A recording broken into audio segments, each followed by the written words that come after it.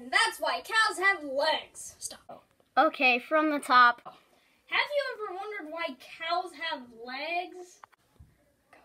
I have to pee. I have to pee. Cut. Cut.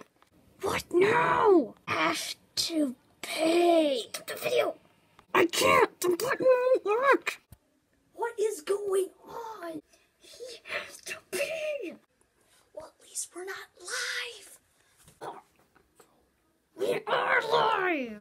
Oh, crap. And now for a short broadcast of our viewers. What's going on?